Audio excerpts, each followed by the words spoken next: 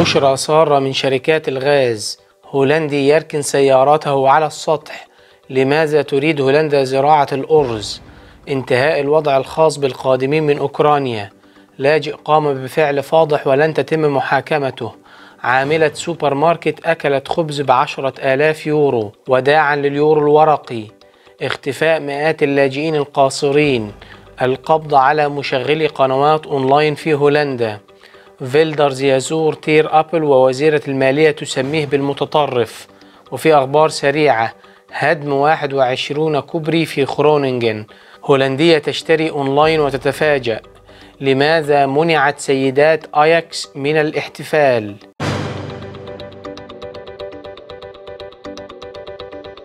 ما تنساش تعمل like الفيديو وتعمل share وتشترك في القناة وتفعل الجرس. ويلا بينا على موضوع الحلقة. منذ بداية الحرب في أوكرانيا وأسعار الطاقة في تزايد وخاصة الكهرباء والغاز. كتير من الهولنديين نشر على الصفحات بتاع وسائل التواصل الاجتماعي السنة اللي فاتت إزاي كانت الفاتورة بتاعة الغاز بتاعته قبل الحرب وإزاي أصبحت بعد الحرب. كل ده أدى إن الحكومة الهولندية السنة اللي فاتت وفي يوم الموازنة أعلنت عما يسمى بأسعار الطاقة. سقف لأسعار الطاقة لا تزيد عنه الأسعار والف... والفارق في السعر الحكومة هي هتدفعه لشركات الطاقة. على سبيل المثال لو السعر بتاع المتر المكعب الغاز 3 يورو الشركات ممنوع إن هي تبيعه بأكتر من يورو 45 سنت للزبائن وللهولنديين. والفرق في السعر ده الحكومة هي اللي هتدفعه من الموازنة بتاعتها للشركات. وكمان كان هيكون في رقابة أو في رقابة من الحكومة الهولندية على الشركات إن هي لا تزود هامش الربح الخاص بها. على أي حال جينا دلوقتي في الفترة اللي فاتت دي كلها ما كانش في شركات غاز بتعرض أو تعرض على العملاء بتوعها عقود غاز طويلة المدى. يعني ما في شركة غاز في أيام الأزمة ديت تعرض عليك عقد وتقول لك خد عقد هوت خمس سنوات بسعر ثابت. ليه؟ لأن زي ما قلنا الأسعار متغيرة وبتزيد كل يوم. فما ينفعش شركة الغاز تخليك توقع على عقد في وسط الأزمة عقد تاخد بيه الغاز مثلا ب 2 يورو للمتر المكعب وهم مش ضامنين إن هو ممكن يوصل ل 3 و4 يورو. ولكن المفاجأة دلوقتي إن بداية من يوم 1 6 كتير من الشركات الهولندية بتاعة الغاز والكهرباء بدأت بالفعل تعلن إن أنت يمكن كزبون هولندي تقدر تشتري أو توقع عندهم عقد طويل المدى لمدة سنوات معينة وسعر المتر المكعب هيكون أقل من يورو 45 سنت وده السقف اللي محدداه الحكومة الهولندية. وكمان أضاف التقرير الصحفي إن في شركات غاز بالفعل بدأت من الآن من نهاية الشهر الخامس أهوت بدأت بالفعل في عرض العروض أو العقود طويلة المدى. لو عايز تعرف إيه هي شركة الغاز الرخيصة وإيه هي شركة الغاز الغالية بالنسبة لسعر المتر المكعب ادخل على موقع جازليشت دوت كوم أو اتصل عليهم في مسؤول هناك من الموقع ده قال إن هم في الأيام اللي فاتت التليفونات عندهم والاستشارات والإيميلات لم تتوقف لأن الناس الهولنديين كلهم بيتصلوا وبيسألوا إيه هي الشركة اللي بتعرض سعر أقل؟ إيه هي الشركة اللي بتعرض عقد بسعر أقل وسنوات أطول بدل سنتين يكونوا ثلاثة؟ فنصيحة للناس كلها تقدر تدخل على الموقع بتاع جاسليشت دوت كوم أو تتصل عليهم وتشوف إيه هي الأسعار الرخيصة لو العقد بتاع الغاز بتاعك هينتهي في الأيام اللي جاية. تقدر تغير لشركه لشركة أرخص على الموقع بتاع Gaslicht.com. ما تنساش كمان في حاجة اتغيرت بخصوص العقود الثابتة وطويلة المدى سعر ثابت وسنوات طويلة إن إلغاء العقد ده لو أنت جيت في الفترة أخدت عقد ثلاث سنوات بسعر معين وفجأة في النص حبيت إن أنت تلغي كمان بحسب موقع RTL Nieuws الهولندي بيقول لك إن هيكون في تكلفة كبيرة جدا عليك إن أنت تنسحب من التعاقد ده فكل الناس تاخد بالها قبل ما توقع أي عقد طويل المدى مع أي شركة شركة تكون عارفة هي عايزة إيه بالظبط. ولو حد يعرف شركة غاز رخيصة هو من نفسه تعاقد معاها في الأيام الأخيرة ما يبخلش على الناس وعلى المتابعين بإنه يكتب الاسم بتاعها في التعليقات ويكتب سعر المتر المكعب قد إيه عشان الناس تستفيد.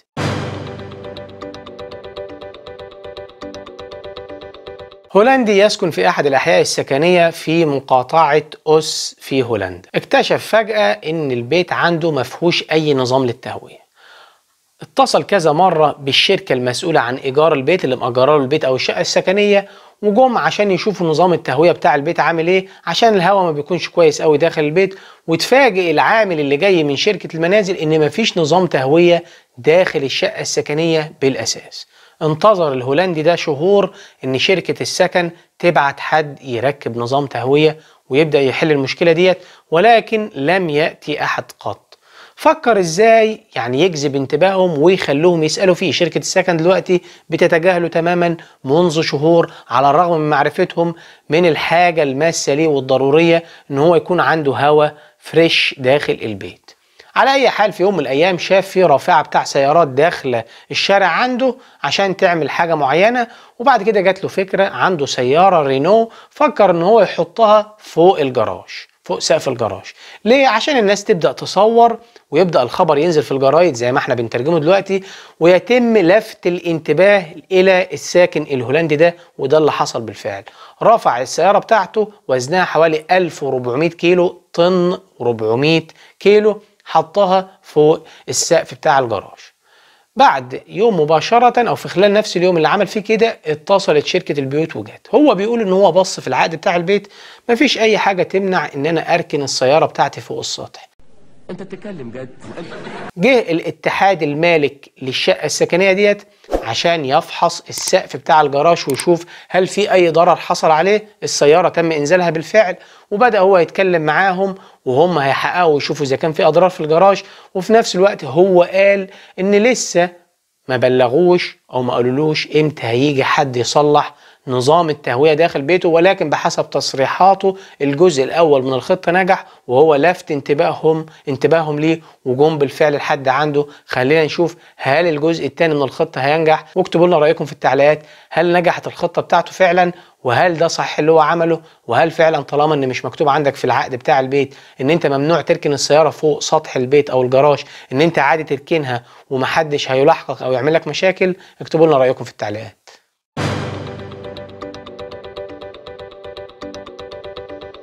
هولندا ثاني أكبر مصدر في العالم بعد الولايات المتحدة الأمريكية في تصدير السلع والمنتجات الزراعية.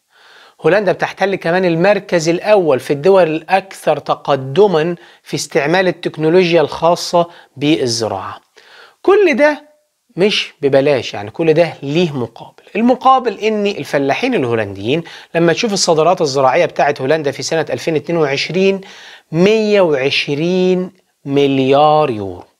الفلاحين بتوع هولندا دي منتجات زراعية. الفلاحين بتوع هولندا بيستعملوا مواد كتيرة جدا من ضمنها مواد ضارة بالتربة وبالهواء وبالماء المياه الجوفية. بيستعملوا المواد دي كلها عشان يزيدوا المنتجات بتاعتهم الزراعية سواء من الأرض أو اللحوم.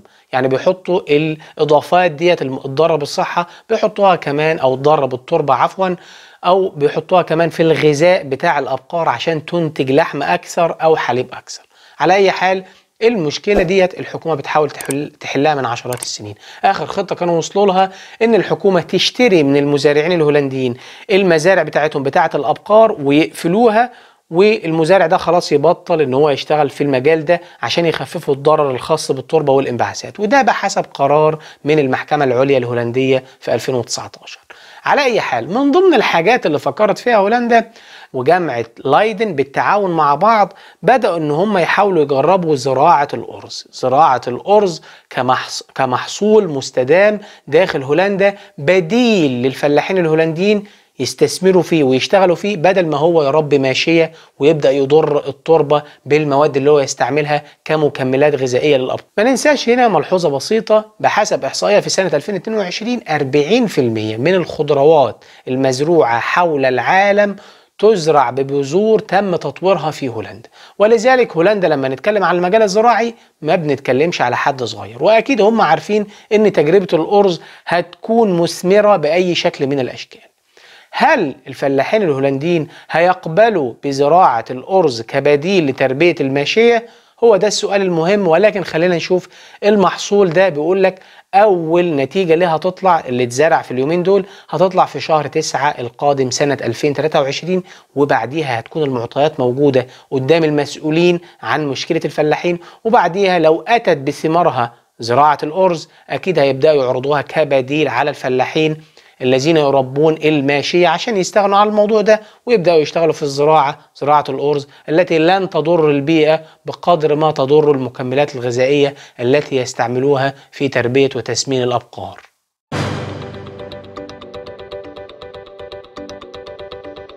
بعد ما بدأت الحرب في شهر 2 سنة 2022 في أوكرانيا هرب الكثير من الأوكران إلى هولندا وطبعا باقي الدول الأوروبية. ولكن بنتكلم تحديدا هنا عن هولندا. 88 ألف أوكراني يحملون الجنسية الأوكرانية دخلوا هولندا ودول ليهم وضع خاص وضع خاص بالتعاون ما بين هولندا والمفوضية الأوروبية للاجئين. هولندا عرضت على المفوضية الأوروبية أنها تستقبل الأوكران بما يسمى بالحماية المؤقتة. الأوكران بيدخل ما بيروحش على الخط بتاع اللاجئين. بيدخل بياخد إقامة تصريح عمل بيشتغل بيسكن لو في بيت البلدية موفراه أو بيسكن في تجمع سكني للاجئين. حاجة كده أشبه بالكامبات بس زي ما قلنا هم مش لاجئين. اللي عايز يقدم منهم لجوء بيقدم واللي قدموا من ال 88 ألف هم حوالي خمسة في سنة 2022 أه، كأوكراني اختار إن هو يقدم لجوء ويحمل الجنسية الأوكرانية. نيجي هنا للطلاب الأجانب. كلنا عارفين إن أوكرانيا بتعرض مجالات دراسية مختلفة للأجانب. بشروط خفيفة. والطلاب اللي بيدرسوا في أوكرانيا سواء بقى بيدرس طب أو هندسة أو فن أو غيره عددهم اللي جم لهولندا في سنة 2022 4600 أخذوا إقامات من يوم 4 3 2022 إلى يوم 4 3 2023 طب اللي يحصل بعدها معاهم؟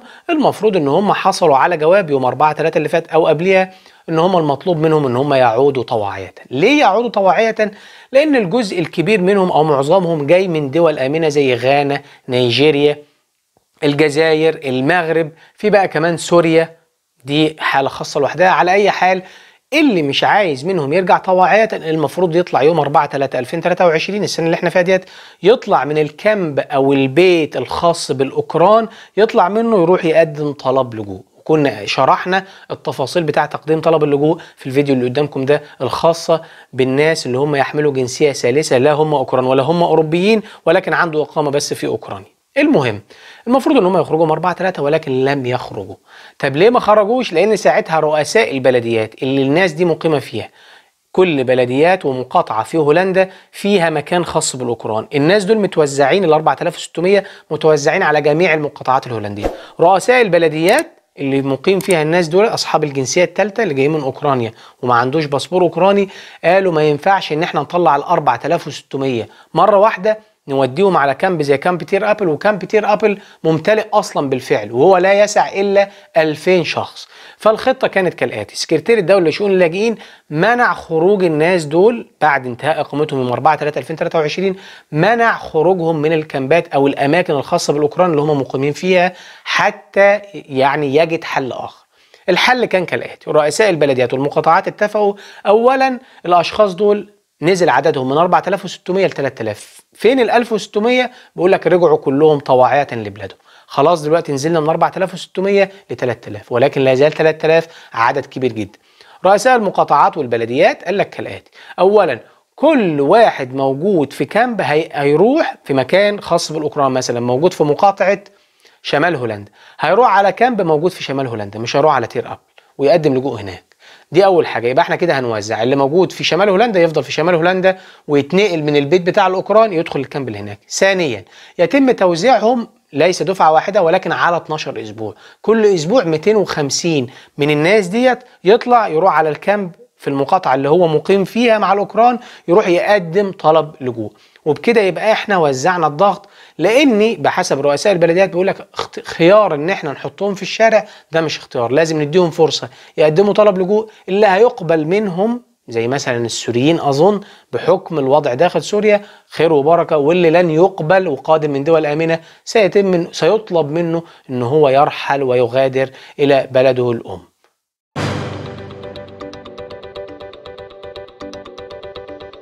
مجموعة من طالبي اللجوء كانوا بيعملوا مشاكل الأسبوع اللي فات في المركز بتاع قرية تير أبل. واحد منهم وصل بيه الأمر إن هو عمل فعل فاضح مع فتاة لا يتعدى سنها 11 سنة. البوليس أخدوا وسكان قرية تير أبل نزلوا في اليوم ده نفسه واعترضوا رافعين لافتات غير اللافتات اللي إحنا اتكلمنا عليها قبل كده.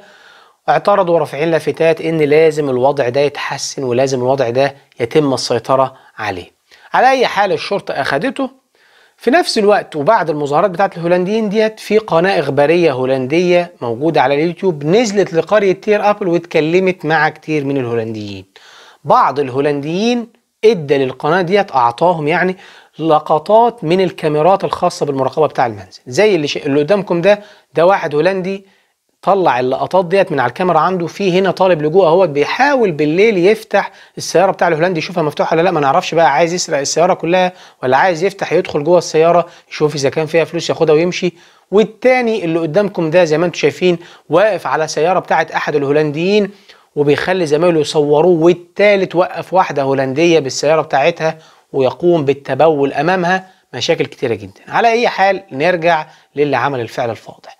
النيابه العامة الهولندية قبل يومين أعلنت إن الشخص ده لن تتم ملاحقته قانونيا طيب إيه السبب؟ بيقول لك إن إحنا مش بالضرورة الفعل اللي هو عمله يكون المقصد منه سيء الفعل اللي هو عمله مع الفتاة. وده طبعا بيؤدي إلى غضب أكتر لأن أم الطفلة اللي تم معها الفعل الفاضح ده أمها كانت حاضرة الواقعة وبتقول ان أنا لن أترك بنتي تخرج ابدا إلى القرية أو للشارع وحدها لازم أكون معاها. وإن أنا حاسة يعني هي عملت محضر ضد الشخص ده. ولكن دلوقتي النيابة العامة بترد عليها وبتقول لها لن يتم ملاحقته قانونيا عشان النية إحنا مش متأكدين من النية تحديدا إن النية كانت سيئة ولا لأ.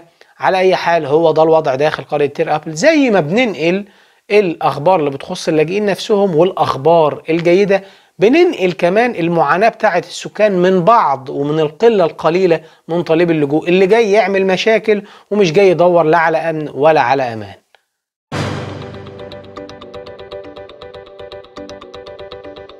سوبر ماركت يومبو ده معروف جدا داخل هولندا وليه فروع كتيرة جدا. أحد الفروع اللي موجودة في جنوب هولندا سيدة هولندية بتشتغل هناك من سنة 1980 السيده شغاله دلوقتي بقالها أكتر من 42 سنة هناك. كان الفرع بتاع يومبو ده مملوك لأبوها وأمها للوالدين بتوعها. وبعد كده انتقلت الملكية لأخوها وهي لا زالت تعمل فيه وبعد كده انتقلت الملكية لمالك آخر وهي لا زالت تعمل فيه. واترقت لحد ما وصلت لمنصب رئيسة القسم بتاع الخضروات والفاكهة. هي اللي مسؤولة عن العمال اللي شغالين في الخضروات والفاكهة والتوريد بتاع الخضار والفاكهة والبيع بتاعه والتنظيم وما إلى ذلك. على أي حال أحد العاملين في السوبر ماركت بلغ المالك الرئيس بتاع السوبر ماركت المالك بلغه إن السيدة الفلانية كل مرة وهي بتاخد استراحة ال pauze بتاعتها بتاخد شطيرة من الخبز كده لل pauze بتاعتها الاستراحة تاكلها من غير ما تدفع ثمنها المفروض لو أنا شغال في السوبر ماركت في هولندا باخد الحاجة قبل ما أخدها كده وأمشي بيها بروح على الكاشير على زميلتي بقى اللي شغالة معايا في السوبر ماركت أو زميلي وأقول له خد أنا خدت ده مثلا ب 2 يورو. المهم صاحب السوبر ماركت راقبها يوم واتنين لقاها فعلا بتعمل كده جابها وحقق معاها واعترفت في النهاية إن هي اولا. بتعمل الموضوع ده بتاخد شطيرة خبز دايما أو اتنين بقى المهم اللي هي بتاخد خبز تاكله أثناء الاستراحة. ثانيا بتاخد علبة ممتلئة باللحوم اسبوعيا للبيت معاها. ثالثا اكتشفوا كمان إن هي في كتير من الأحيان بتروح على البيت قبل الميعاد المحدد ليها. يعني هي بتشتغل من 8 الصبح ل 4 العصر بتروح مثلا على البيت 3 العصر قبل الميعاد بساعة أو بتروح الساعة 2 الظهر قبل ما ميعاد شغلها ما يخلص بساعتين. على أي حال تم فصلها. فصلوها من غير أي مقدمات يعني. خلاص أنت هتمشي أنت بتسرقي واعترفت بخطئك راحت على المحكمة وصاحب السوبر ماركت كمان راح على المحكمة. هي عايزة إيه؟ وصاحب السوبر ماركت عايزة إيه؟ هي عايزة 168 ألف يورو مكافأة نهاية الخدمة لأن بحسب كلامها أنا كان فاضل لي خمس سنوات واطلع على المعاش. صاحب العمل بيطالب بإيه؟ بيطالب بإن هي تدفع حوالي 9800 يورو الخسائر اللي هي عملتها؟ شاملة بقى الخبز اللي أكلته مع اللحوم اللي كانت بتاخدها معاها كمان مع إن هي كانت بتروح البيت بدري عن ميعادها ساعة أو ساعتين أو ما إلى ذلك. المحكمة حكمت كالآتي بأربع حاجات. اولا رفض الدعوة بتاعتها. مفيش 168 ألف يورو. ثانيا هتدفع هي ال 10000 يورو. ثالثا لا يحق لها الحصول على رواتب العاطلين. أنا لما بكون اتفصلت من العمل بتاعي مش أنا اللي أخدت استقالة قدمت استقالة. هم أقالوني بقدم وباخد الراتب بتاع البطالة ده بيكفيني إن أنا أعيش حياة كريمة لحد ما ألاقي الشغل اللي بعد كده. بما إني المحكمة قالت في الحكم بتاعها إن هي السبب في إن هي اتفصلت من العمل فهي كده تعتبر اللي قدمت استقالتها فلا تأخذ أي رواتب من البلدية رواتب عاطلين.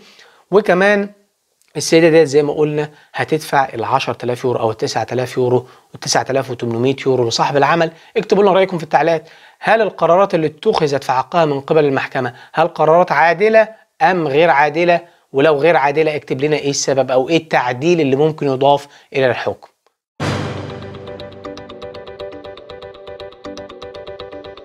اليورو الرقمي. اليورو الرقمي عملة غير ملموسة. إحنا عندنا اليورو بقى ورق أو معدني ده موضوع تاني. دلوقتي الكلام على اليورو الرقمي.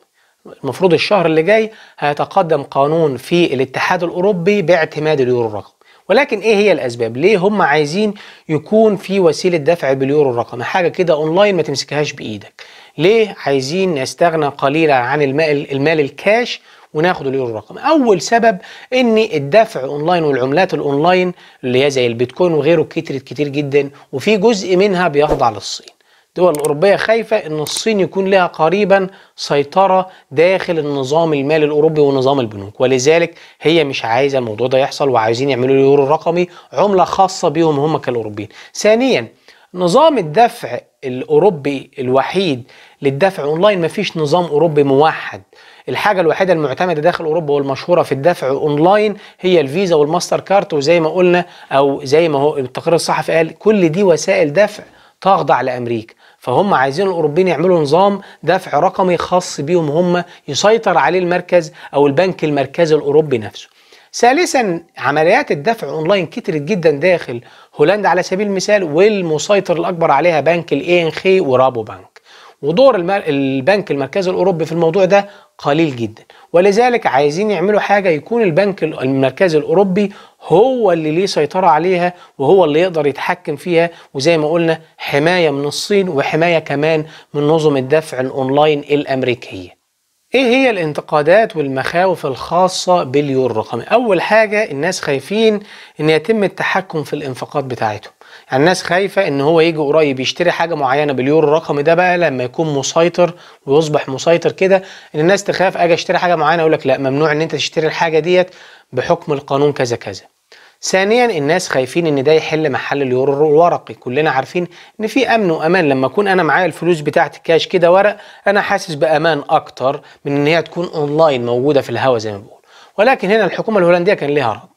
بتشترط الحكومة الهولندية إذا اعتمد اليورو الرقمي بداية من سنة 2026 وده بحسب القانون اللي هيتقدم الشهر اللي جاي بتشترط الحكومة الهولندية أنه لا يكون بديل أساسي للفلوس الكاش الورقي. إن هو يفضل زيه زي الفلوس الورقي الاثنين موجودين. أنا أختار براحتي. أختار كاش بقى أو نقدا أو أختار اليورو الرقمي. ثانيا لا يتم التحكم في مدفوعات الناس. لو أنا هعتمد اليورو الرقمي قريبا وهتخلص من البنك العادي بتاعي وأحط فلوسي كلها أونلاين ما يكونش في أي تحكم في النفقات بتاعتي. أنفق مكان ما أنا عايز. طبعا إلا إذا كانت حاجة مخالفة للقانون.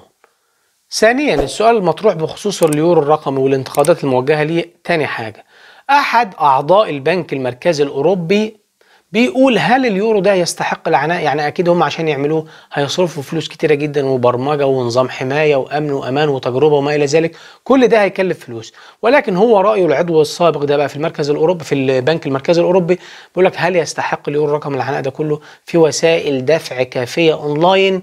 يعني قصده إن اليورو الرقمي مش هيسيطر زي الوسائل المسيطرة بالفعل ولكن الرد هنا في نفس المقال الصحفي اللي بيقول إن اليورو الرقمي له غطاء نقدي. يعني اليورو الرقمي ده هو موجود كعملة حقيقية على الأرض اللي هو عملة الدول الأوروبية كلها. ولكن حاجة زي البيتكوين هي من شركة خاصة ومش بنك زي البنوك الأوروبية لما تعتمد اليورو الرقمي. كده اليورو الرقمي جاي من بنك وليه غطاء نقدي؟ مش زي البيتكوين ليس له غطاء نقدي وكمان جاي من شركة تجارية مش من بنك معتمد ولذلك دي ردود على الانتقادات الموجهة لليورو الرقمي.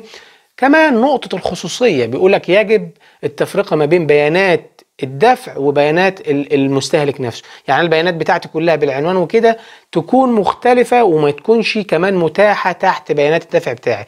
لما أدفع بيكون اسمي بس اللي موجود ورقم البنك بتاعي ومحدش يقدر يشوف مثلا عنواني ورقم تليفوني إلا إذا كان في شك بقى في تمويل للارهاب والمشاكل دي كلها. ساعتها يقدروا يشوفوا باقي البيانات بتاعت بتاعتي على أي حال القانون سيتم تقديمه أو مشروع القانون سيتم تقديمه في الشهر السادس الشهر اللي جاي وهيتم المناقشة بتاعته وبيقول لك ان تمت الموافقه عليه. سيتم طرحه لأول مرة اليورو الرقمي في 2026 عشان تبقى تجربة عملية. اكتب لنا رأيك في التعليقات موافق ولا مش موافق؟ وفي كلا الحالتين اكتب لنا السبب ليه موافق أو مش موافق.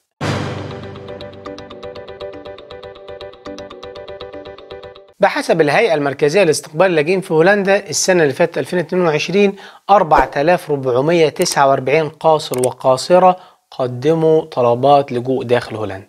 دول أولاد وبنات تحت سن ال 18 لا معاه أبوه ولا معاه أمه معهوش أي حد ولوحده تماما لوحده. بحسب تقرير سري خرج من القوى الهيئة المركزية لاستقبال اللاجئين بيقول لك إن في مئات من هؤلاء القاصرين اختفوا. المفروض بيقدموا طلب اللجوء وبيتم توزيعهم بعد كده على كامبات أخرى. في أولاد كتيرة جدا حوالي 336 من دول اختفوا. طبعا التقرير ده سري ليه؟ لأنه بيتكلم عن الإتجار بالبشر. القوة أو الهيئة المركزية لاستقبال اللاجئين بتقول لك في احتمالات كتيرة، الاحتمال الأول إن الأولاد دول أو البنات دول يكونوا خرجوا من هولندا راحوا على دولة أوروبية أخرى يقدموا فيها طلب لجوء أو يعيشوا فيها. الاحتمال الثاني اللي هو احتمال اللي هو الإتجار بالبشر، الأولاد دول تم خطفهم أو البنات وبيتم المتاجرة بيهم، والاحتمال الثالث اللي هو الاحتمال العمل في الدعارة. إيه هو إيه هنا الشاهد بحسب التقرير السري بتاع الهيئة المركزية لاستقبال اللاجئين اللي نشر تفاصيل منه على موقع RTL News الهولندي. بيقول لك الشاهد هنا إن في ناس كتير ساكني المركز الرئيسي لاستقبال اللاجئين في قرية تير أبل شاهدوا بنفسهم وقالوا للقوى الهيئة المركزية لاستقبال اللاجئين إن هم شافوا رجال عربيات ألمانية وعربيات هولندية بيكون فيها رجال كبار في السن أخذوا فتيات وفتيان من ذوي خاصة من ذوي البشرة السوداء. أخدوهم معاهم في السيارة وراحوا واختفوا وما شفناهمش تاني. يعني ربنا يسترها على الأولاد والبنات دول.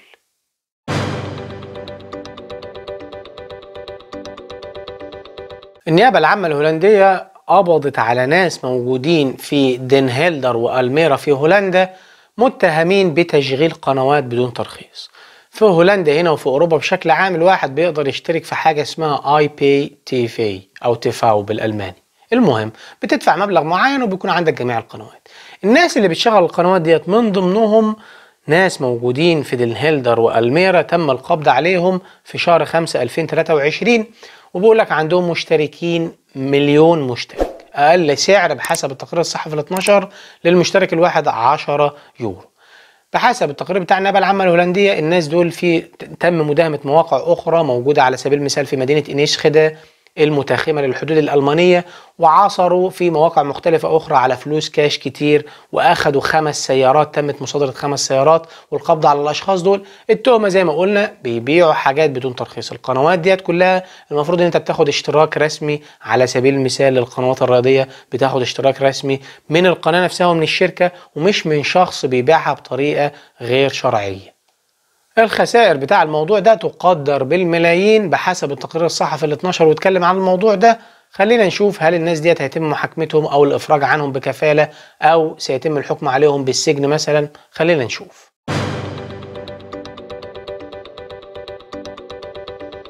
السيدة كاخ وزيرة المالية الهولندية ورئيسة حزب ال D 66 أعلنت لصحيفة De Telegraaf الهولندية بالأمس إن هي تتجنب الكلام نهائيا مع السيد فيلدرز وبتقول إن هو أصبح متطرف بالفعل. لأن الطريقة اللي هو شغال بيها ديت هي دي أصبحت الطريقة الرسمية بتاعته في مهاجمة الناس. وقالت أمثلة هنا على سبيل المثال. قالت السنة اللي فاتت في شهر سبعة حصلت حادثة في البرلمان الهولندي وإن هو قال للسيدة صوفيا هيرمانز واللي هي رئيسة حزب ال VVD اللي هو منه رئيس الوزراء الهولندي مارك روتا هي الرئيسة بتاعته داخل البرلمان رئيسة الأعضاء بتاعته. السيد فيلدرز قال لها في البرلمان السنة اللي فاتت في شهر 7 2022 قال لها أنت مجرد واحدة بتشيل الشنط بس لرئيس الوزراء الهولندي حاملة حقائب.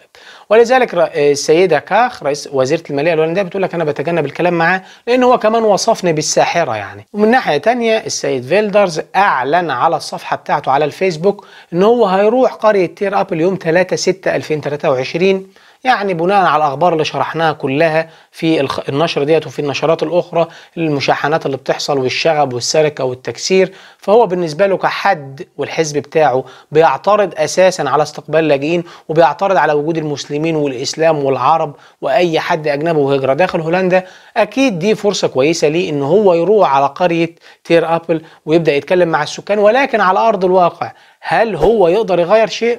ما نعرفش. خلينا نشوف على أي حال الزيارة يوم 3 6 2023 يعني النصيحة مني للناس اللي موجودين في camp تير أبل ما تنزلش المركز التجاري بتاع القرية في اليوم ده عشان حتى لو أنت ما عملتش أي حاجة ممكن تحصل مشاحنات أو تحصل مشاكل. رأيي الشخصي يعني اقعد في البيت أو اقعد في ال camp في اليوم ده وما تنزلش المركز بتاع قرية تير أبل.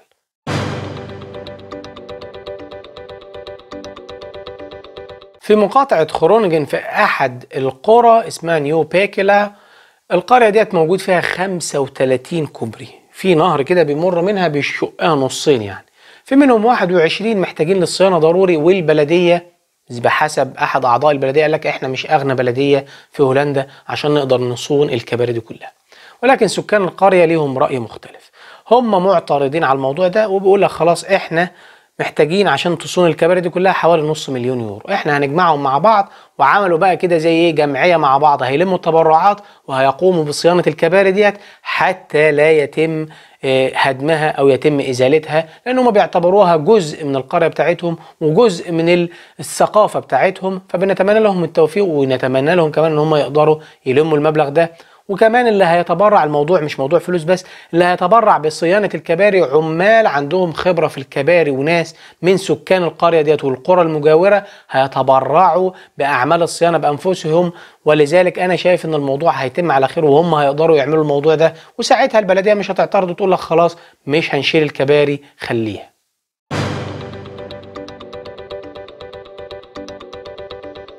سيدة هولندية نشرت على أحد مواقع التواصل الاجتماعي إن هي طلبت حاجة صغيرة جدا كراتين صغيرة جدا زي ما أنت شايفها كده في الفيديو في الصورة ويعني الكرتون اللي جاي فيها الطلب كبيرة جدا. وده سؤال تم توجيهه من الصحيفة للمسؤولين.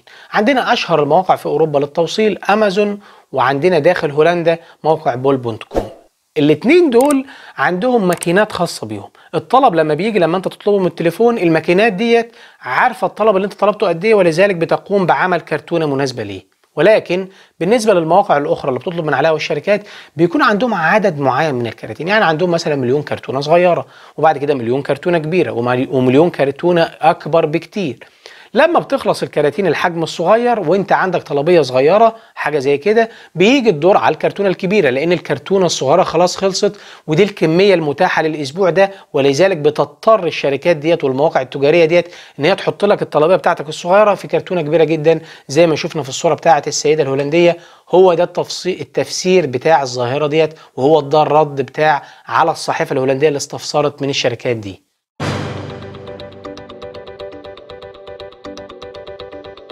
أخبار الرياضة. السيدات بتوع فريق أياكس كسبوا الدوري رسميا الفريق بتاع الرجال خسر كل حاجة السنة دي زي ما إحنا عارفين. المفروض إن هم فازوا بالدوري رسميا يوم 7 5 وكانوا عايزين يحتفلوا. البلدية بتاعه أمستردام وافقت. المكان اللي هيحتفلوا بيه بلدية أمستردام وافقت عليه. ولكن إدارة النادي بتاع أياكس نفسها قالت لا أجلوا الاحتفال ده لبعد الصيف أو لسنة 2024 وده طبعا سبب غريب جدا. بحسب موقع NOS الهولندي قالوا إن جزء من عدم موافقة نادي وإدارة نادي اياكس على الموضوع ده إن هم شايفين الاحتفال غير مناسب. يعني السيدات فازوا بالدوري أي نعم ولكن موسم الرجال كان سيء جدا ولذلك نلغي الاحتفال. الموضوع ده حصل على ردود فعل كبيرة جدا وناس بتقول لك بقى فين المساواة الرجل بالمرأة وفين حقوق المرأة يعني هم إيه علاقتهم؟ أنا بصراحة شايف الموضوع غريب يعني. هم الرجالة ما كسبوش أي حاجة المفروض تفرح إن السيدات كسبت وهيبقى عندك أي تتويج في الموسم وخلاص مش تموت الدنيا كلها على أي حال تمت الموافقة على الاحتفال في آخر الأمر. واحتفلوا بالأمس فعلا يوم 29 5 2023 مبروك لسيدات آياكس. حظ أوفر للرجال. رجال آياكس الفريق الأول لكرة القدم ونشوفهم إن شاء الله في المواسم اللي جاية بيفوزوا بالدوري تاني. ما تنساش تعمل like للفيديو تعمل share وتشترك في القناة وتفعل الجرس وانتظرونا في أخبار تانية جاية. سلام عليكم.